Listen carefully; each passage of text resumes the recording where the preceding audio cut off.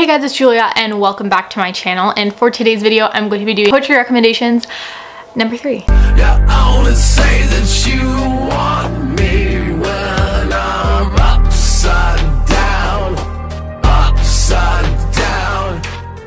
Yeah, so as you guys know, I do read a lot of poetry. Um, I've done two recommendations in the videos in the past, which I'll link both of those down below, as well as my book review playlist full of recommendations if you're interested. First up here, I have a pleasant surprise, and that was A Pillow Thoughts by Courtney Peppernell. This book is divided into um, kind of like going for what you need so you can pick and choose and like whatever you are in need of, you can read poems for that. So it's if you're dreaming of someone, if you are in love, if you are heartbroken, if you are lonely, if you are sad, if you're missing someone, if you need encouragement, if you are soul searching, if you need a reason to stay, and these are for you. So this is full of just lovely poems. And there's also, I just really enjoyed the writing. I think the poems were unique from other collections that I've read from.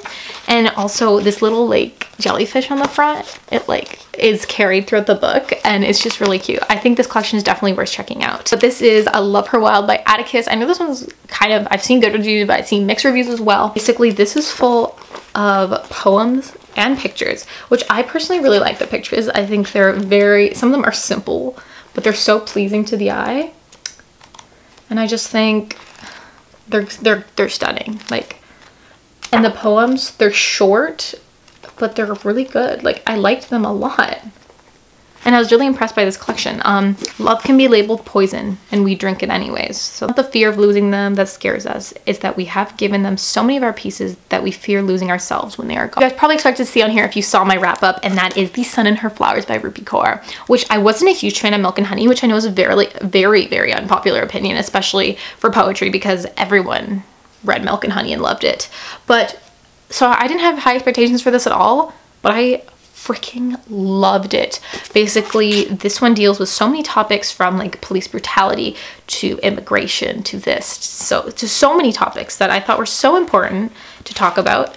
And again, it has the whole illustration thing going on. So the little pictures and stuff along the way, which I always like that little touch in poetry. I think it adds a lot. So yeah um, to read a poem from here. There's, I tabbed so many to the point where like, I don't know which one to pick. They buried me alive. I dug my way out of the ground. With palm and fist, I howled so loud. The earth rose in fear and the dirt began to levitate. My whole life had been uprising, one burial after another. I will find my way out of you just fine. I just love, it was really good, guys. Um, a beautiful composition of Broken um, by R.H. Sin. You guys know I love this guy's poetry so much. Um, basically, I've read all of his other collections and I've mentioned them all in past recommendations videos, but this one was really good as well. Um, I think I always love his poetry. I think it's so personal. Something about his writing and the simplicity of his poems that I just freaking love. And I love how his collections are usually pretty like, they're pretty chunky. So like I can just really sit down and just enjoy it so much. And the back says, it's crazy how sometimes you have to destroy to be made anew. Everything happens for a reason, just like this moment. I do believe that when you're dealing with will pass. These ones are definitely more simple in this collection, but they're really nice. No one in April. These words pour from me like rain from foggy skies. I often fear that I'll drown in my own pool of sadness, submerged, reaching for no one because only I could save me. I've always saved myself. Isn't that beautiful? I love. So last but not least, I have another collection that really surprised me that I really loved, and that is um, you're Doing Just Fine by Charlotte Eriksson. This book, I was actually sent a review at the time, which I love getting poetry for review because honestly, they're such quick reads. Like they're the easiest review copies for me ever, especially because usually poetry is really easy for me to get through, so I'm not really worried about DNFing like um, a review copy if it's poetry.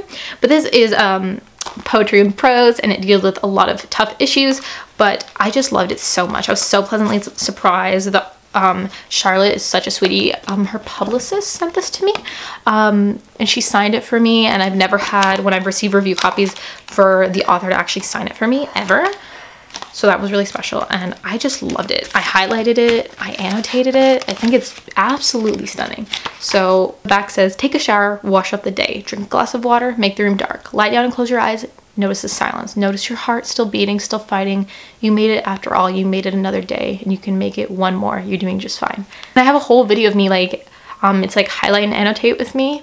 I have a whole video about it. So there you guys have it. These are my poetry recommendations. Let me know if you would be interested in picking any of these up or if you have read any of them and liked them or if you didn't like them let me know down below. Thank you guys so much for watching. If you're new here, be sure to click the subscribe button and click the notification bell to be updated for when I post new videos and all that sort of stuff. And I'll see you all very soon with a new video. Bye!